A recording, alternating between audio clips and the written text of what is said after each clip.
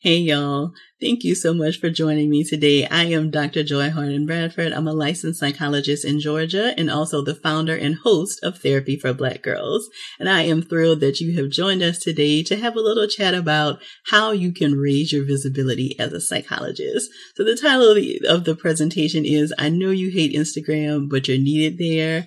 And I think it is really important for us to talk about why it's important for us to be visible as psychologists. And you may be asking yourself, why is this even important?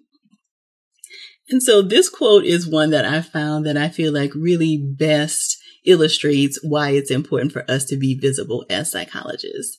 Because right now, there's someone out there with a wound in the exact shape of your words. And so as psychologists, we all have tremendous amounts of information and knowledge that can be used to help people lead healthier and fuller lives. And I think that no time is better than the present when so many people are struggling and in pain and trying to rebuild their lives after the pandemic. There is a lot of knowledge and information that we can share that will help people to be better.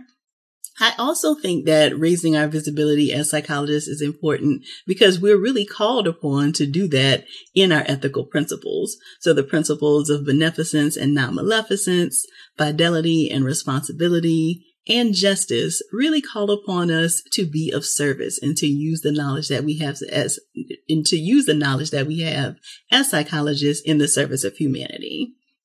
Additionally, I think it's important for you to know that people are looking for this kind of information. So for example, over the first 58 days of the COVID-19 pandemic, there were an estimated 3.4 million Google searches related to anxiety, which is the highest that that number has been in the 16 years that they've been collecting that data. And so we know that people are using online resources to be able to find mental health related information. And so if they're not connecting with reliable and credible sources like us as psychologists, they may be connecting to sources that are not so reliable. And though they may be well-intentioned sources, sometimes they don't know enough to know when they're causing harm. And so it really is important for us as psychologists, again, acting within our ethics to be the ones providing some of this information.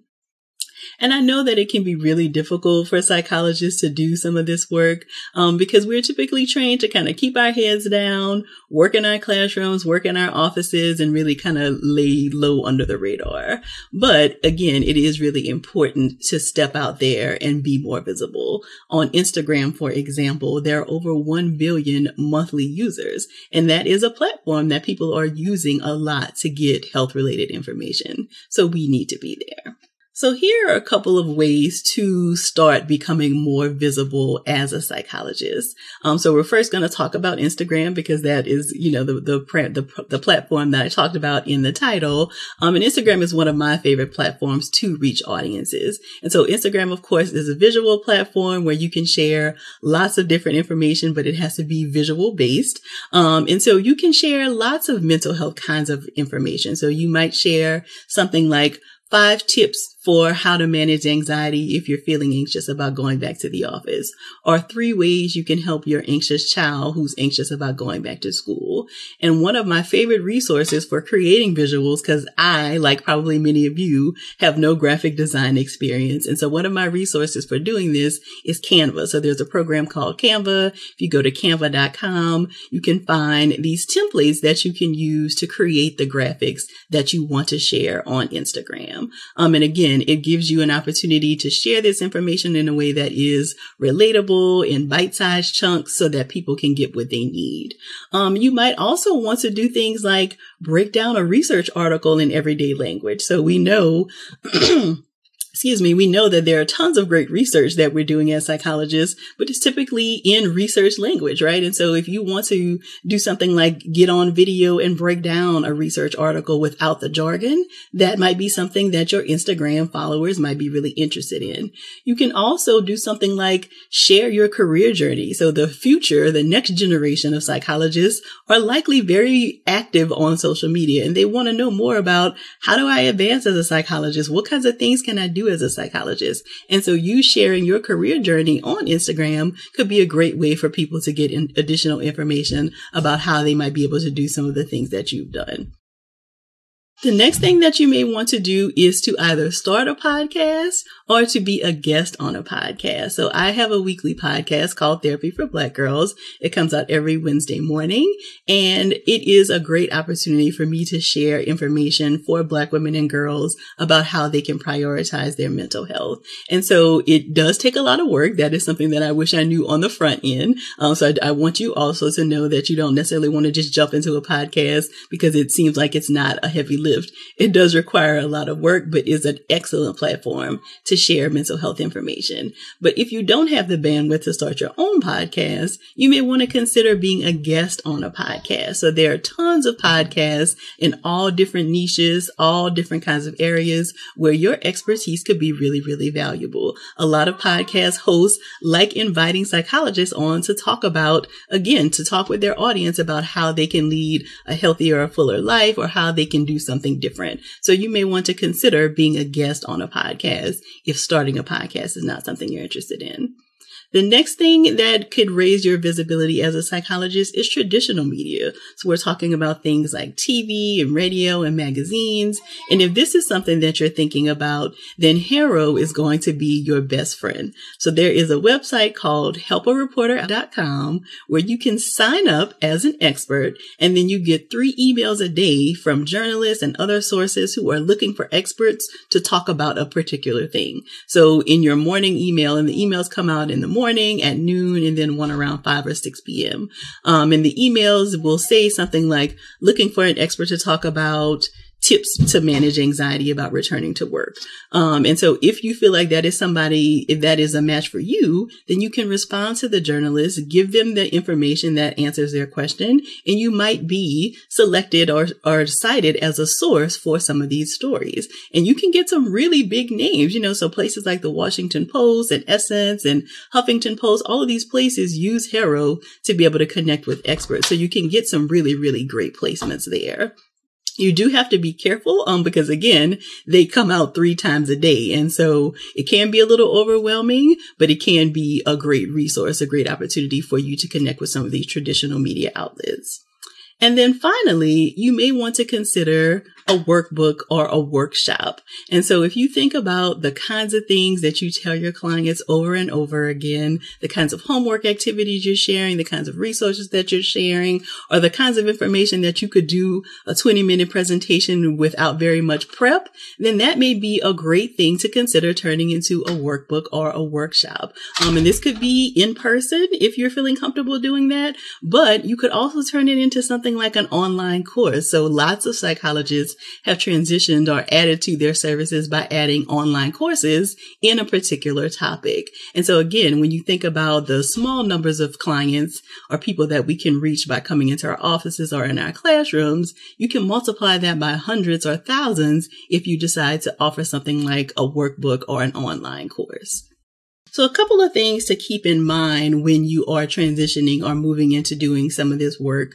Um, it is always important, of course, for you to remember your ethics and your state laws and regulations. So you are always operating as a psychologist in this kind of professional work. And so our ethical principles and boundaries do um, apply to this work as well. And so one of the things that is really important when you're moving into this kind of work is to make sure that you're offering disclaimers related to the relationship you have with your audience. So in every episode of my podcast, the intro starts and I talk about, um, though I hope you love listening to and learning from the podcast, it is not a substitute for a relationship with a licensed mental health professional. And then I direct them to our therapist directory where they can connect with someone in their area if they feel like they need to. And so it's really important that you kind of set up and establish those boundaries so that people do not get confused about what kind of relationship they have with you.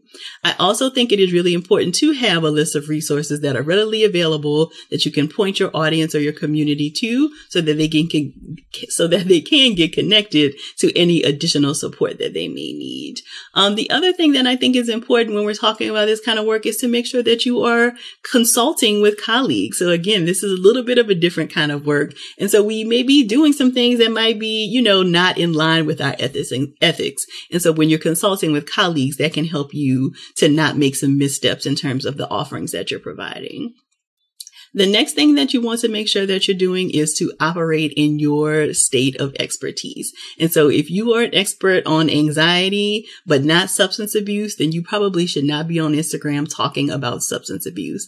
And because online can be really noisy, can be really busy, you might be tempted to kind of weigh into a conversation because you feel like, oh, there's a lot of energy there. Or you may be tempted to produce a certain type of content um, because you feel like, oh, that's what people really like. But if it's not in in, in line with your area of expertise, then you really may be doing yourself a disservice and you may be harming people. And so you really only want to be sharing things and operating in areas that you really feel comfortable talking about so that you can again further establish yourself as the go-to person for this particular topic. The next thing that you want to consider is to be careful of shiny object syndrome. And so again, because online can be very busy and very noisy, there's just lots of different things to do. So you can be on Instagram, you can be on Twitter, you can be on TikTok, you can have a podcast, you can have a course, you can have a workbook, you can do speaking. Like you can do all of these things, but you cannot do all of those things at one time. And so especially when you're starting out in this work, I think it's really important to pick one thing master it and then consider how you're going to expand as opposed to doing all of the things and not doing any of them well. And then finally, I'd encourage you to have fun with it. So I have found lots of fun and enjoyment in doing this kind of work as a psychologist. It's not at all what I anticipated I would be doing with my career, but I absolutely love it. And I think if you're not having fun with it, then this may not be the area of work that you want to be connected to. You know, if you really, really hate Instagram, don't just be on Instagram because you feel like you need to. There are other ways that you can raise your visibility that don't require you doing something that you just really, really don't want to do, that isn't passionate to you, that isn't, you know, kind of restorative to you. You only want to do things where your personality can really shine and where you're actually having fun with it. And then finally, I would love to stay connected. So if you use any of these tips or you decide to get more involved on social media or you do more media work, I would love to hear progress reports of how you're doing. Share your links and things with me. I'd love to kind of stay connected to all of that. I am active on social media. So you can find me on both Twitter and Instagram at Hello Dr. Joy. I'd love to connect with you and answer any additional questions we may not have a chance to chat about today. Thank you so much for your attention, and I hope that you continue to take good care of yourself.